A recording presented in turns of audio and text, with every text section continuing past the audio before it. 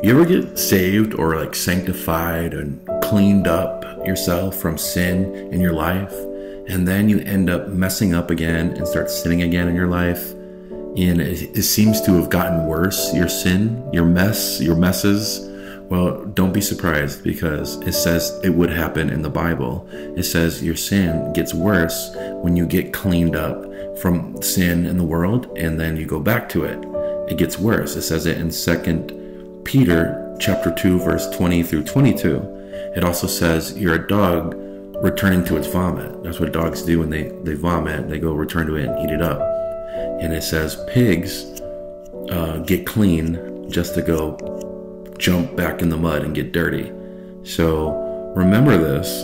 I'm, I'm smiling because it cracks me up that it uses that term a pig gets clean just to go play in the mud. But I'm saying this because you know, I used to be that person too, but you you could stop, and the Bible is alive and it's true, and and that's exactly what happens. Exactly what happened in my life too, as I would I would I would uh, get clean, I would stop sinning, I would start living a good and wholesome life, but you know I would let things slowly seep back into my life to where um, I start backsliding, and I'm, I'm not now I'm starting to sin again, or maybe I'm starting to drink and, and watch crazy movies and you know, just be disrespectful, stop having patience with people, you know, and slowly but surely I'm like, man, I'm getting worse and worse every time I do this. Well, the Bible said it would happen. The Bible said you would get worse.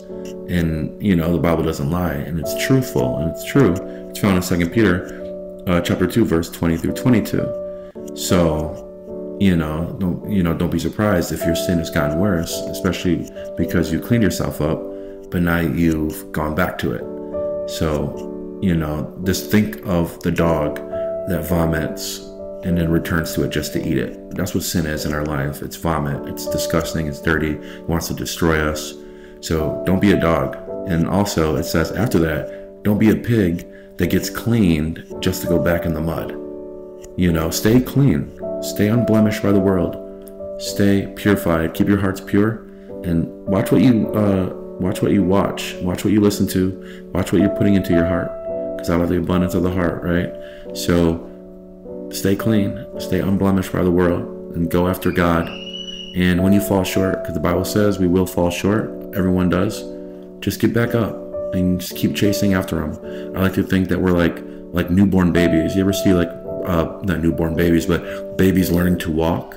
You know, they take a couple steps and they fall down and we don't get mad at them when they fall down. We actually encourage them to get back up. We're like, get up, little baby, get up, try again, take a couple more steps.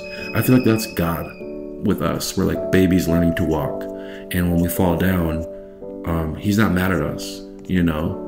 He's encouraging us actually to get back up and keep going after Him and keep trying not to sin. So, you know, think of that. Maybe that'll help you. Also, think about the, the dog returning to its vomit. Maybe that'll help you.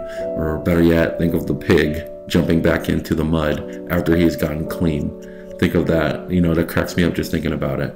But again, that's found in 2 Peter chapter 2, verse 20 through 22. Love you guys. Hope this video help helps you. Hope it encourages you. Stay away of uh, stay away from sin. It's our enemy. So be blessed. Drop a like.